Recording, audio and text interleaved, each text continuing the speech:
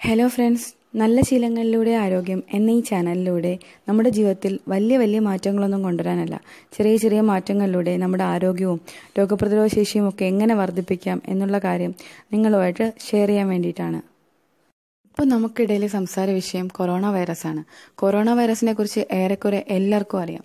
മെസ്സേജിലൂടെയും വാർത്തകളിലൂടെയും വീഡിയോകളിലൂടെയും ദിവസവും നമ്മൾ അതിനെക്കുറിച്ച് കാണാറും കേൾക്കാറുമുണ്ട് എന്നാൽ ലോക്ക്ഡൗൺ ഒക്കെ പിൻവലിച്ചു തുടങ്ങിയ ഈ സമയത്ത് എല്ലാവരുടെയും മനസ്സിൽ കുറേയേറെ സംശയങ്ങളാണ്.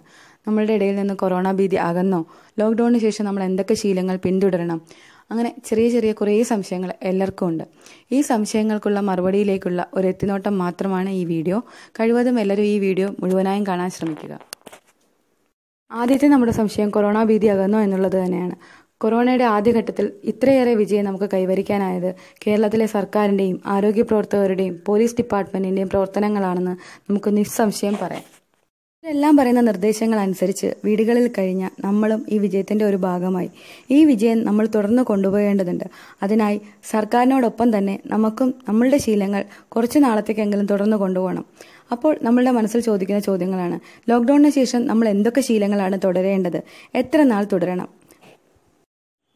കുറച്ചു നാളത്തേക്കെങ്കിലും നമ്മുടെ ജീവിതത്തിന്റെ ഭാഗമാക്കേണ്ട മൂന്ന് കാര്യങ്ങളാണ് മാസ്ക് സാനിറ്റൈസർ സാമൂഹ്യ അകലം.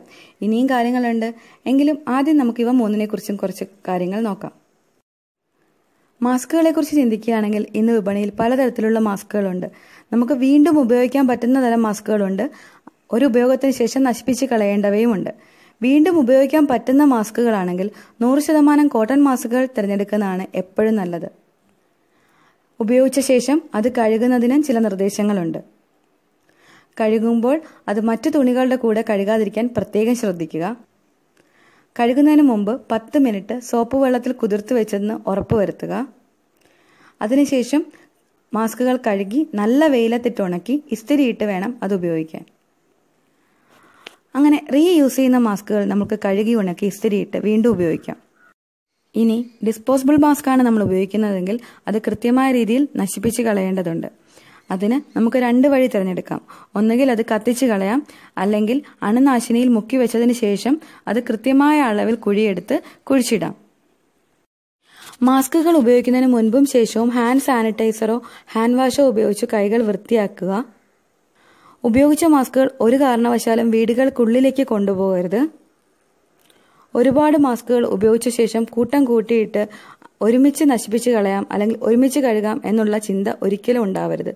ഒരു മാസ്ക് ഉപയോഗിച്ചാൽ അന്ന് തന്നെ അത് വാഷ് ചെയ്തിടാൻ പ്രത്യേകം ശ്രദ്ധിക്കുക. നശിപ്പിച്ച് കളയേണ്ടവയാണെങ്കിൽ അന്ന് തന്നെ അത് നശിപ്പിച്ച് കളയുക. ഇപ്പോഴത്തെ ഈ സാഹചര്യത്തിൽ നമ്മുടെ കയ്യിൽ എപ്പോഴും ഒരു എക്സ്ട്രാ മാസ്ക് കരുതിയിരിക്കണം. മാസ്കുകൾക്ക് കേടുപാടുകൾ സംഭവിക്കുകയാണെങ്കിൽ അത് വീണ്ടും ഉപയോഗിക്കാൻ പാടുള്ളതല്ല. ഹാൻഡ് സാനിറ്റൈസറും ഹാൻഡ് വാഷുകളും നമ്മുടെ ജീവിതത്തിന്റെ ഒരു ഭാഗമാക്കുക തന്നെ വേണം. നമ്മുടെ കയ്യിൽ എപ്പോഴും ഹാൻഡ് സാനിറ്റൈസർ കരുതണം. വീടുകളിലും ഓഫീസുകളിലും ഇവ രണ്ടും ഉണ്ടെന്ന് ഉറപ്പുവരുത്തുകയും വേണം. പുറത്തുപോയി വരികയോ ജോലിക്ക് പോയിട്ട് വരികയോ ചെയ്തു കഴിഞ്ഞാൽ കൈയും കാലും മുഖവും കഴിയതിന് ശേഷം മാത്രം വീടുകൾക്കുള്ളിലേക്ക് കയറണം. അടുത്ത ഒരു കാര്യം പറയാനുള്ളത് പൊതുസ്ഥലങ്ങളിൽ തുപ്പരുത് എന്നുള്ളതാണ്. പണ്ട് മുതലേ ഈ നിയമം ഇവിടെ ഉണ്ടെങ്കിലും അത് കർക്കശമാക്കിയത് കൊറോണ വന്നതിന് ശേഷമാണ്. ആ നിയമം നമ്മൾ കുറച്ചു നാളത്തേക്കെന്നല്ല നമ്മളുടെ ജീവിതം മുഴുവൻ തുടരേണ്ടതാണ്. പൊതുസ്ഥലങ്ങളിൽ തുപ്പുന്നത് പലതരം ആരോഗ്യ പ്രശ്നങ്ങൾക്കും ഇടയാക്കും. ആ ഒരു ശീലം നമ്മൾ മലയാളികൾ മാറ്റേണ്ടതുണ്ട്. ഒരു കാര്യം ലോക്ക്ഡൌണിന് ശേഷം പ്രത്യേകം ശ്രദ്ധിക്കേണ്ട കാര്യം എന്ന് പറയുന്നത് സാമൂഹ്യ അകലം പാലിക്കുക എന്നുള്ളതാണ്. മിനിമം ഒരു മീറ്റർ അകലമെങ്കിലും നമ്മൾക്ക് സമൂഹത്തിൽ പാലിക്കേണ്ടതുണ്ട്. സാമൂഹിക അകലം ലോക്ക്ഡൌൺ പോലെ തന്നെ പ്രധാനപ്പെട്ടതാണ്. കൂട്ടം കൂടി നിൽക്കാൻ പാടില്ല ചടങ്ങുകളിൽ പങ്കെടുക്കാനും പാടില്ല. അവസാനമായി നമ്മൾ പറയാൻ പോകുന്നത് ആഹാരത്തെക്കുറിച്ചാണ്. അവസാനമായി പറയുന്നെങ്കിലും ഏറ്റവും പ്രധാനപ്പെട്ട ഒന്നാണ് ആഹാരം. നമ്മൾ കഴിക്കുന്ന ആഹാരത്തിലൂടെയാണ് നമ്മുടെ ശരീരത്തിന് ആവശ്യമായ പോഷണവും എനർജിയും എല്ലാം ലഭിക്കുന്നത്. നല്ല ആരോഗ്യമുള്ളൊരു ശരീരത്തിൽ മാത്രമേ രോഗപ്രതിരോധ ശേഷി ഉണ്ടാവുകയുള്ളൂ. ഈ രോഗപ്രതിരോധ ശേഷി ഉണ്ടെങ്കിൽ മാത്രമേ രോഗങ്ങളെ നമുക്ക് തടയാനാവുകയുള്ളൂ. നമ്മുടെ ആഹാരത്തിൽ ഇലവർഗങ്ങളും പച്ചക്കറികളും ഉൾപ്പെടുത്തുന്നത് നമ്മുടെ ആരോഗ്യത്തെയും രോഗപ്രതിരോധ ശേഷിയും ഒക്കെ വർദ്ധിപ്പിക്കാൻ സഹായിക്കും. അതുപോലെ തന്നെയാണ് ഈ സമയത്ത് വൈറ്റമിൻ എയും സിയും അടങ്ങിയ ഫ്രൂട്ട്സും വെജിറ്റബിൾസും കഴിക്കുന്നത്. ഇതുപോലെ തന്നെ പ്രാധാന്യമുള്ള ഒന്നാണ് വെള്ളം. ദിവസവും മൂന്ന് ലിറ്റർ വെള്ളമെങ്കിലും ഒരാൾ കുടിച്ചിരിക്കണം.